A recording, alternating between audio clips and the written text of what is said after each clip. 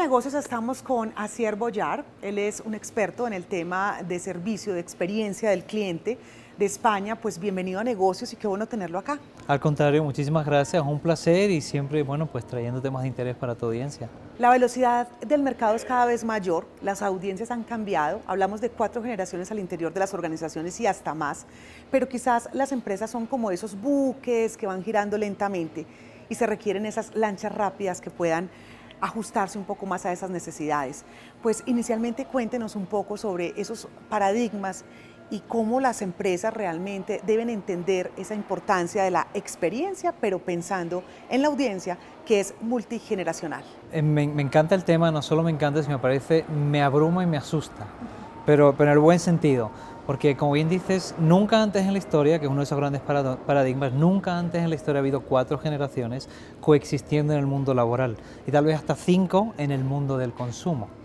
Hace unos años se hablaba de los millennials y que son tal, y chicos jóvenes y que son unos rebeldes, pero lo, lo interesante es que a los que desafortunadamente no somos millennials ya por, por edad, sí nos adaptamos a esa actitud. Entonces, esas cuatro generaciones es muy complicado darle respuesta. Entonces la empresa tiene que entenderlo y tomar decisiones. ¿Qué es lo que voy a hacer al respecto? ¿Quiero quedarme con mis clientes? ¿Quiero buscar clientes nuevos? ¿Quiero crecerlos? ¿Quiero competir? ¿O quiero aliarme con mis competidores para poder dar un servicio excepcional? Y tal vez te explico lo que para mí podría ser la diferencia entre servicio o ofrecer experiencias, ¿no? que es lo que buscamos como, como consumidores. ¿no? Tenemos esta necesidad emotiva que la intentamos racionalizar y es divertido, ¿no? Queremos medir las emociones y ya existe, ya, ya se puede hacer.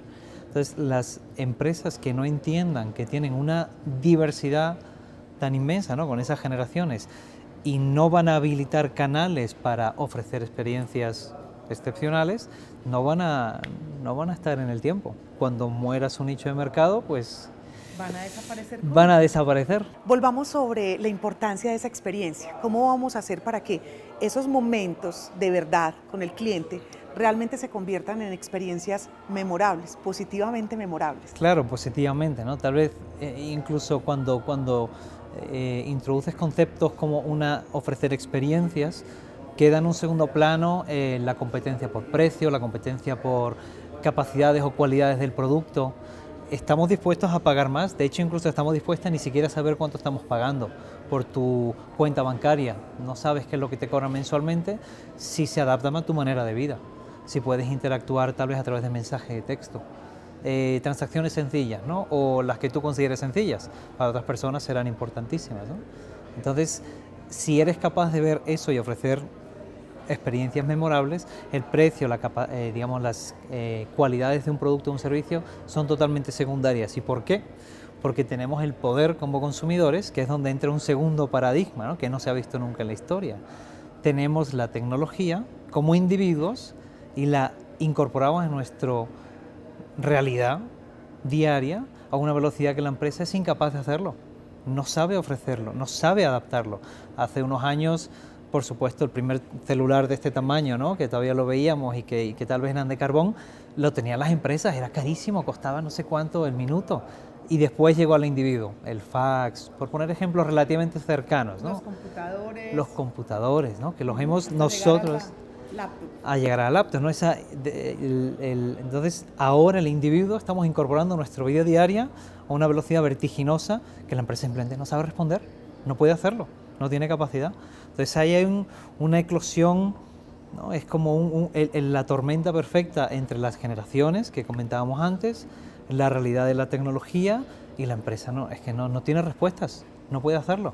Entonces lo que tiene que hacer es lo que decían tal vez los curas antiguos, es decir, este, este, el acto de constricción, ¿no? el momento en el que piensas, ok, ¿dónde estoy parado y a dónde voy a ir? Y después vas a confesarte y a partir de ahí sales del confesionario con una visión nueva. ¿no? Eso es lo que tienen que hacer las, las empresas, mirarse a sí mismos y cómo van a afrontar esa realidad. No hay una verdad absoluta, no hay una solución, hay muchas realidades y tendremos que tomar decisiones. Así es, estamos hablando entonces de una importante necesidad o prioritaria en el sentido de entender esa gestión del cambio, cómo desde las grandes eh, presidencias, directivas, juntas, se deben mirar ese servicio al cliente como una evolución de experiencias, pero entendiéndolo transversal a la organización.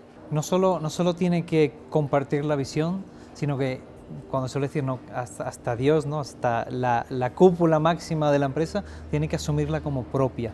No puede ser un proyecto de la empresa, una, una campaña de marketing, tiene que ser asumida en el ADN de la empresa y desde la más alta cúpula de la misma tienen que tomarla como propia, ser embajadores, involucrarse.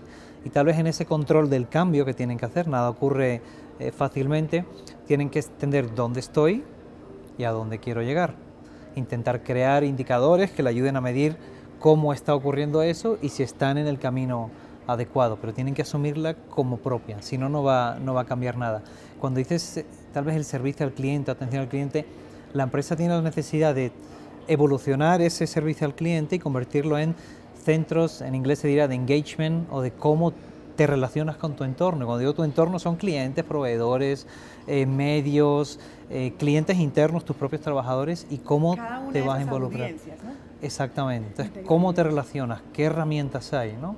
no es lo mismo cuando quieres pedir una pizza que cuando, que cuando quieres hacer otra transacción o cuando hablas con tus familiares, ¿no? Pero usamos muchas herramientas para comunicarnos y la empresa no está sabiendo cómo, cómo adoptar eso. Entonces, el centro de contacto tiene que convertirse en un modelo de negocio que sea parte integral de la empresa, no puede ser solo un área de servicios, tiene que ser parte de la estrategia. Pues así era un placer, muchísimas gracias por habernos acompañado aquí en Negocios y sobre todo por invitar a tantos presidentes, presidentas de compañías a estar involucrándose en esos procesos de transformación de la organización, del servicio tradicional, a generar verdaderas experiencias.